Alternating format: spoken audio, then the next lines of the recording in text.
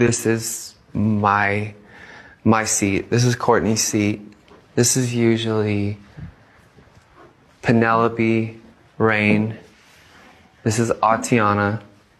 This is usually open for guests, whoever comes and, and eats with us.